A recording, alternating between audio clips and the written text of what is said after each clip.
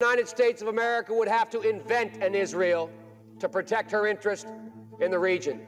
If I were a Jew, I would be a Zionist. As a matter of fact, you don't have to be a Jew to be a Zionist. I have had the view for the past 24 years that the only way in which there will be peace in the Middle East is when the Arab nations know there is no division between the United States and Israel. What my record has been, it has been unstinted in the defense and support of Israel. The United States has never and will never lose our resolve.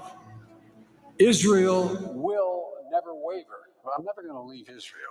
Neighborhood after razed neighborhood, mass grave after mass grave, mass slaughter after mass slaughter. of Israel is still critical, so there's no red line. We are not going to create any conditions on the support that we are giving Israel to defend itself. We will always be there by your side. The United States strongly supports Israel and its right to defend itself from Hamas.